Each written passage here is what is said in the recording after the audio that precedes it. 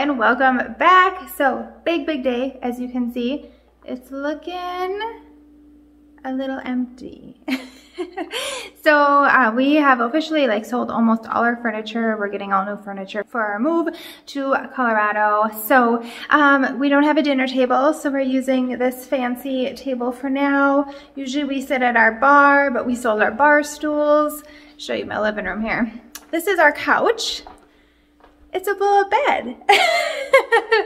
so yeah, so that is what's taking place today. So it is February 17th, and we are starting to pack up a lot of our items here, um, just kind of getting them ready because we close on our house in Colorado on February 26th.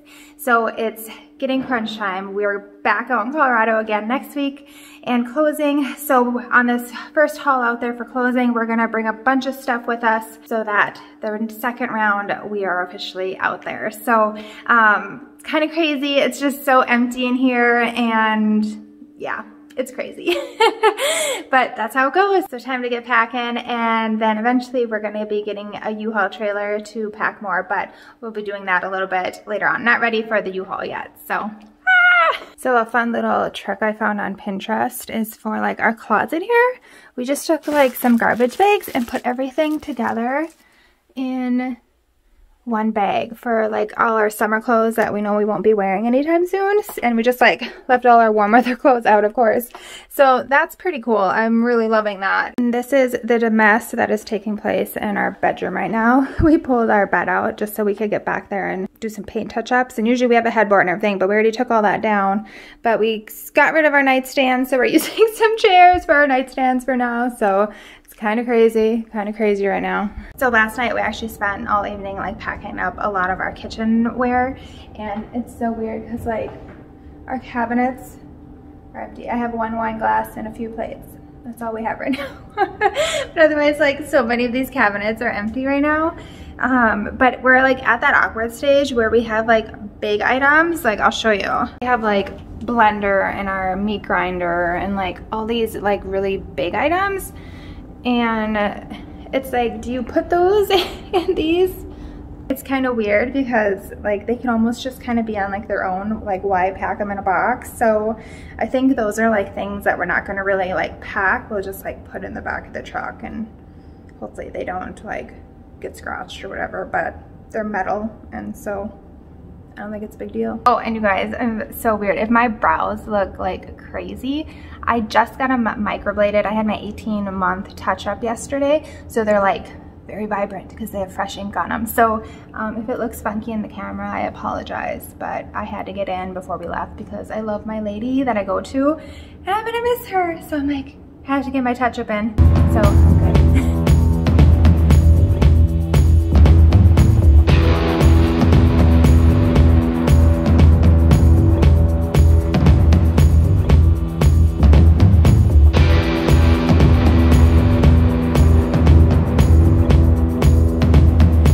kind of where we're at thus far for the back of the truck.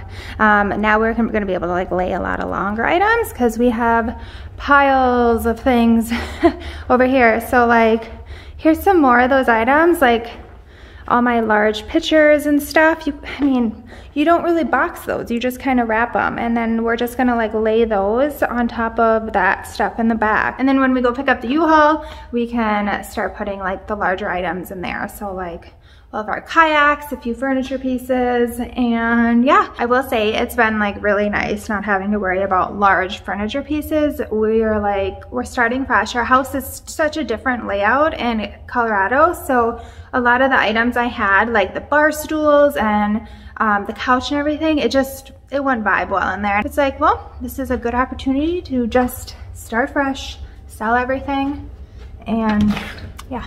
You guys, we're getting our trailer here from U-Haul. This is the biggest trailer they got is a 6 by 12 So this will be for our first load.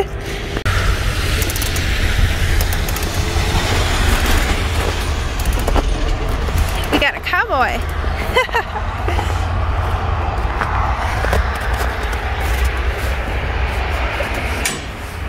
it's pretty big. Looks good. All right, you guys, the U-Haul is at our house. and we will be packing it all up tonight. So it's gonna be crazy. See how much we can fit in the U-Haul. Um, so this is just our first run um, to Colorado with it because um, we close on our house Friday. So after we close, we can start unpacking. So we figured we might as well do a load while we're, you know, heading down in there anyway. Our hope is after this load, we just have one more load. Um, we just get one more of these trailers and that's it. So it's crazy.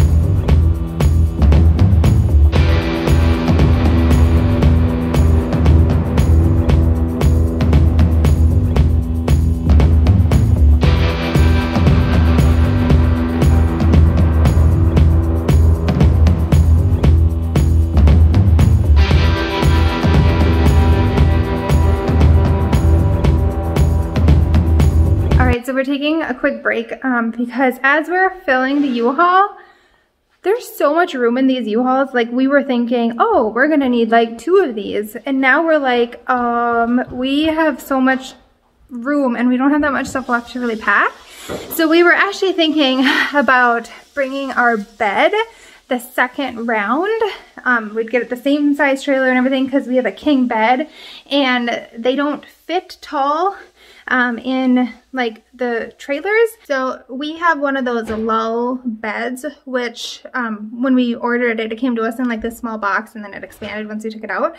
So we can bend our mattress, like roll it up and so we're gonna do that. We're just gonna like bring our bed on this first round too because there's no point of like getting another big trailer for the second round only for the bed. So holy buckets. Now I'm gonna tear down the bed, I guess, and we're gonna be sleeping on a blow up mattress from here on out.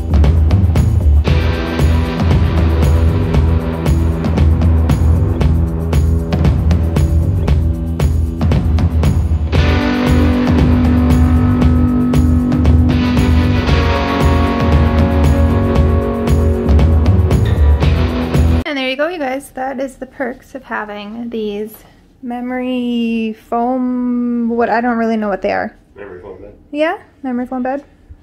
Because now it's few half straps, the size. A few straps, a couple arguments, and you're good to go. That's right. so if we would have had a regular mattress where we couldn't fold it, like I said, king beds don't fit in any size U-Haul trailers. So this worked out super well. So since we're closing this Friday, we're not there for very long. So we're closing, unpacking, and then literally coming back home on Sunday. So we have like everything ready for like a little camp out because like we don't have a fridge and all those things there. So it's like we're gonna be camping in our house. So I have started to pack all the essentials so it's easy to get to. Toilet paper, some paper towels. We got a rug because we'll shower in the house and some bath towels and we figured we could like start kind of cleaning the cabinets and kind of prepping them. Probably won't be like unpacking until we're like 100% there. Brought some coffee, my favorite of course, Caribou. I'm gonna miss them. The one thing, it really stinks, there's no Caribous in Colorado, which that kind of hurts my heart because that's like my favorite and that's what we drink every day for our coffee. And I don't know I might have to like start ordering them I haven't looked in grocery stores yet to see if they have caribou coffee in the grocery stores so that's like one of those things that's might be missed from Minnesota You guys, we are master packers. Yes. I don't think we could fit anything more in this trailer. Um, this is pretty awesome. this is some serious skill, you guys. Good job. We got it all in. We don't have a lot left, so yeah, round two, we can just use a smaller trailer. So that'll be awesome, but we don't have to get a big trailer again. Good job. Just a few things I want to bring up about renting and moving. Um, just hopefully this can help you maybe save some money in the process if you're making a long distance move. I am part of a moving to Colorado Facebook group and there's a lot of Facebook groups um, that are from people who are moving to different states. So Arizona, Florida, there's moving Facebook groups for all those types of things. And so it's been really helpful just kind of seeing and reading what others are doing if they're moving from, you know, California to Colorado or Chicago or wherever they're moving from. Um, but one thing I just, I want to kind of bring up because um, moving is expensive. It's one of the biggest expenses. And so I've been seeing um, some people on the groups saying it's costing like six to ten thousand dollars to move, you know, all their belongings from their state to Colorado or wherever, long distance move. And I know there's so many variables for everyone. And so um, if this can help anyone, I hope it does. If you are able to move yourself, you will save so much money. If you do not plan on using any of your furniture or your new house is a different layout like ours is and like your furniture won't work, um, just get rid of it. Sell it on Facebook Marketplace, Craigslist, whatever, get rid of it because if we were to spend $6,000 on moving expenses, I can tell you for moving all the furniture that we sold, to go rebuy furniture, we're not gonna spend, you know, $6,000, $8,000 on new furniture. Like, that's not gonna happen. We need a new couch, some bar stools, and a table that is no way $6,000 or more. Everything you pack and bring with you is gonna cost you money because you will need a larger truck, a larger trailer, whatever it is, it's gonna be more money. So, you know, we got this six by 12 trailer, which pretty much fit all of uh, the things that we decided to keep and it only cost us $560 for a one-way from Minnesota to Colorado. We drop off in Colorado when we're done unpacking it. And then for our second trip, we're able to get one of the smaller trailers so we don't need the large trailer and um, that will be like a five by eight and I think it's gonna be maybe like $300 350 after all the taxes and stuff by the time we pay for both of these trailers and probably the gas to get out there.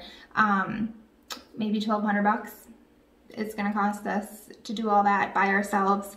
Um, now, I do realize we do have a truck that can tow these trailers, so I understand many people might not have that. Um, however, you can use, if you have like a larger SUV or something, if it has a towing package on it, you know, definitely consider that. We also looked into um, possibly purchasing one of those larger U-Haul trucks. It would have costed us probably about the same amount of money. It's probably right around the thousand dollar mark to just get one big U-Haul truck um, and do our move that way. However, we have the two vehicles and we have a cat and stuff and I didn't want to like tow a vehicle behind the U-Haul and all these things. We just kind of wanted to use our own vehicles for everything. So if you guys can move yourself, pack everything yourself, you can save a lot of money. Some of the discussions in these groups are people hiring movers, but really consider all the stuff you're moving. Are you truly gonna use it in your new house or are you gonna be eventually buying something new? Because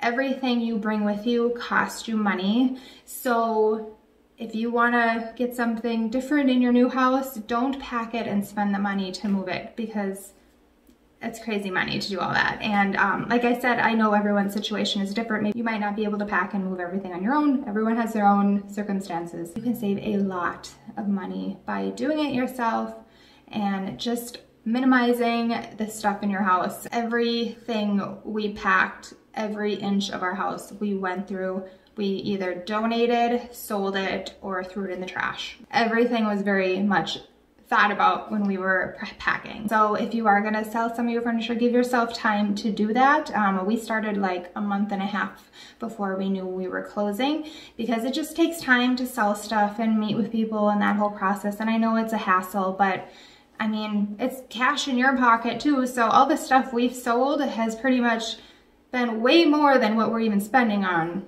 you know, this move. So we came out ahead by selling all this stuff. I hope this helps you guys get some tips from this. All right, you guys, the day is here. February 25th. It is 4.15 in the morning. Yes, it is. and we're off to Colorado for closing on our new house tomorrow. Um, so fun fact, we were supposed to be on our way to Puerto Vallarta today but not. not happening. We ended up canceling that trip, not because of the closing, but because of all the CDC stuff. We couldn't risk being quarantined in Mexico. So, oh, yeah, now we have a U-Haul and we're going to Colorado. So I say it's a pretty good trade. New house in Colorado, Puerto Vallarta. I mean, they're both great, but you know. Let's go. All right. We are full to the brim on the road by 426. 14 hours till Colorado. Such an exciting day. Today is the day. We are in Colorado. We just left our hotel. We're at the Human Bean getting a coffee. It's like 9.30 in the morning. We don't meet at our house for closing until like 11.30. Just giving you a scoop on the U-Haul. How'd it go, hon? Good. It was super easy. It pulled really well with our truck and that thing is packed full. And It burns the gas. It does burn the gas. We've had to fill up a lot more and then as you're coming, you know, this way you're climbing mountains and hills and stuff. So it definitely burned the gas. But overall, it was really an easy trip with the trailer. So highly recommend. Good quality trailer. Didn't sway, great tires, like everything was good. So, right? Right. We're home! There's our home! We closed and it went amazing and we are officially home and we're gonna be on doing the U-Haul right now. This thing unpacked. Unpacked! Ready to go inside? Let's do it. Let's do it! Here we go. Is it unlocked?